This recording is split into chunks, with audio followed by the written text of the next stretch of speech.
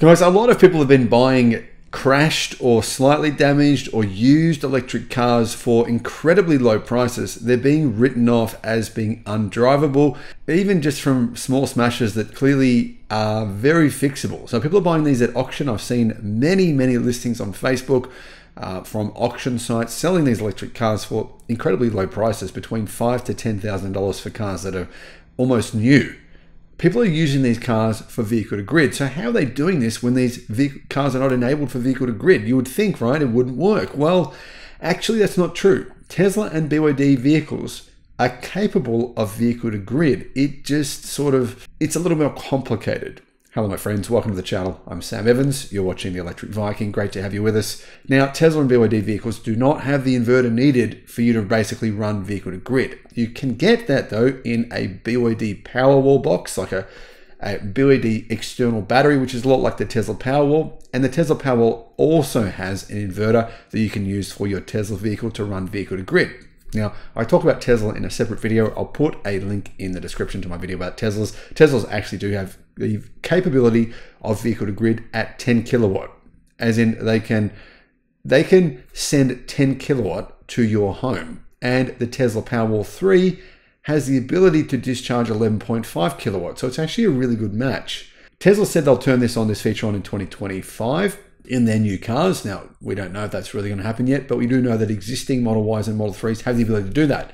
But do BYD cars? Well, technically, no. Technically, BYD vehicles have the ability for vehicle to load, not vehicle to grid, which is quite different.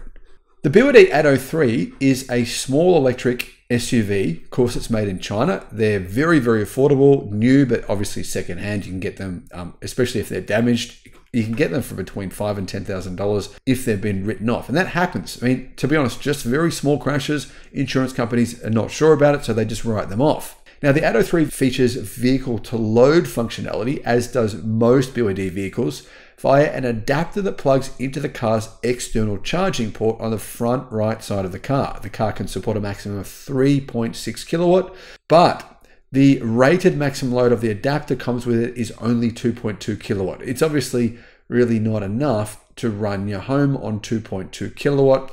3.6 is actually relatively low. For example, the new vehicle that I've purchased, the Xpeng G6, I'll put a link in the description below to the uh, page where you can find out the cost and all that kind of stuff.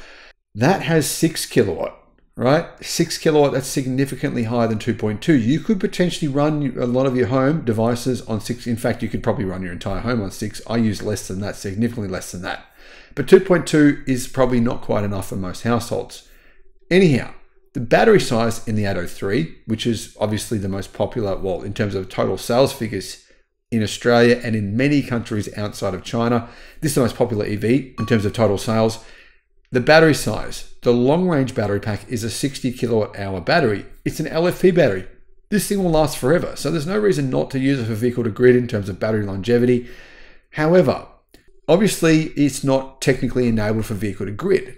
However, once again, there was a test done in, I believe, Germany, and a company called Ambibox, they tested a BYD Atto 3 using the a bi-directional charger. It worked successfully it discharged seven kilowatt. Now, seven kilowatt, you don't need more than that. That's that's going to be enough unless you're running every air conditioner in your house and your and your dryer all at once.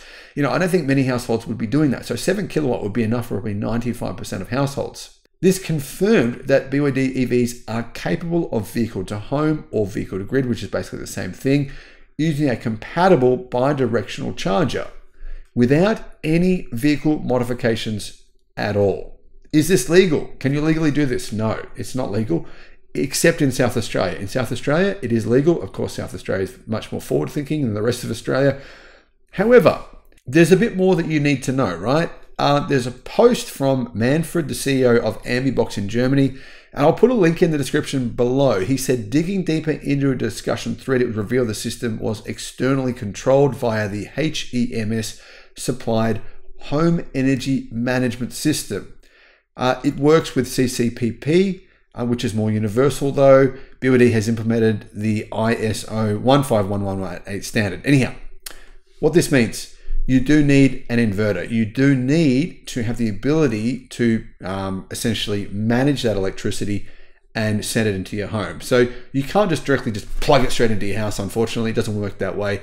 You will need, like I mentioned earlier in the video, an inverter, and that a lot of people who have solar will, will probably potentially have that inverter, maybe or maybe not. But you can talk to an electrician.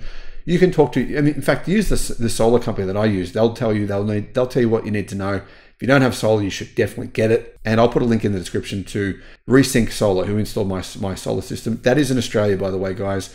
They are, I believe, planning on expansion to America, but they haven't done that yet biggest solar company in Australia, and I use them because they have the best reviews. I'll put a link in the description. So if you haven't got solar yet, call those guys and get it installed. That's who did my solar system. And like I said, they have the best reviews of any company, I think, in the world, for any solar company in the world. Staggering. BYD, bi-directional charging. I want to see people test this in person. I know this has been tested in Germany. I believe it will work simply by using a, a bi-directional charging cable without any modifications of the car. But like I said, it's not technically legal. I'm not telling you to do this, but I would. I don't see why not. I don't. I don't think it matters. I don't think anyone's ever going to know that you're using a battery to charge your home. And honestly, what's the difference? I mean, between having a, a, home battery pack versus using your EV to charge your home, I don't think it's a problem. I don't think there's any way for them to catch you. Legally, though, I didn't tell you to do it. I just told you it is actually possible. Thanks for watching.